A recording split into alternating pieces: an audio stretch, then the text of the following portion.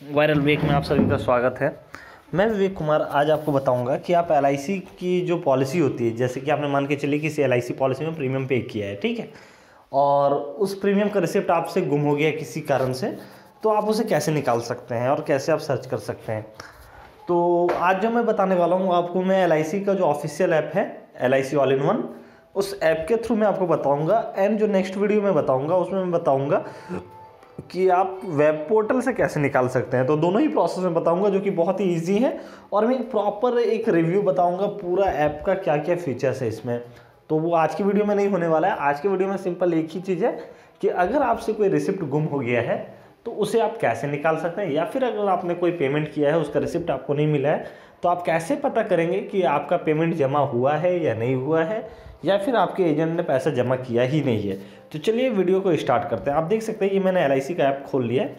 App खोलने के बाद सिंपल सा मैं जाऊँगा रजिस्टर्ड पोर्टल यूज़र्स पे। ठीक है चूँकि मैंने पॉलिसी ऑलरेडी रजिस्टर्ड कर चुका हूँ तो मुझे यहाँ पे रजिस्टर करने की ज़रूरत नहीं है। अब यहाँ पे मैं डेट डाल देता हूँ।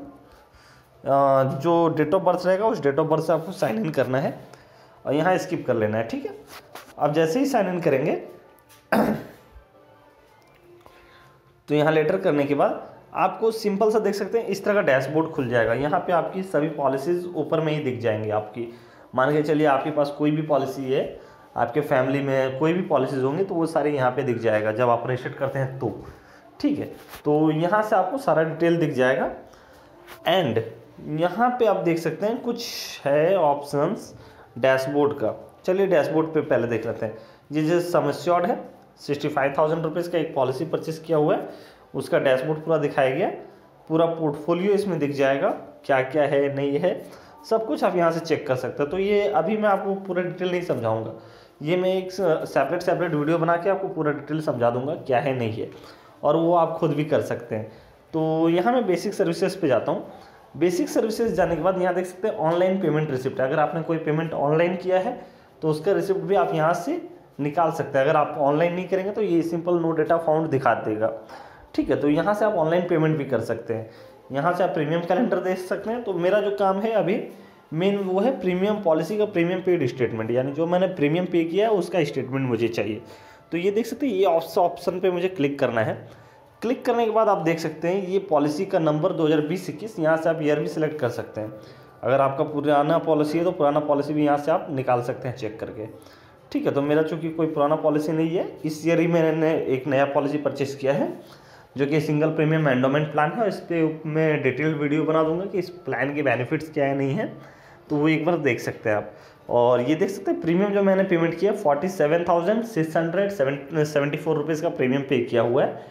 यहाँ पे मैं सेलेक्ट ऑल कर लेता हूँ या फिर आप सिर्फ़ इसे भी सिलेक्ट कर सकते हैं। एंड सिंपल सा आपको जनरेट स्टेटमेंट पे क्लिक करना है। जैसे ही आप जनरेट स्टेटमेंट पे क्लिक करेंगे तो ये आपका पीडीएफ फॉर्म में देख सकते हैं, बिल्कुल ये आपका हो गया है, खुल चुका है। मैं इसे इस तरह से रोटेट कर दे रहा हूँ स्क्रीन को, ताकि आपको ज़्यादा क्लियर दिख सके।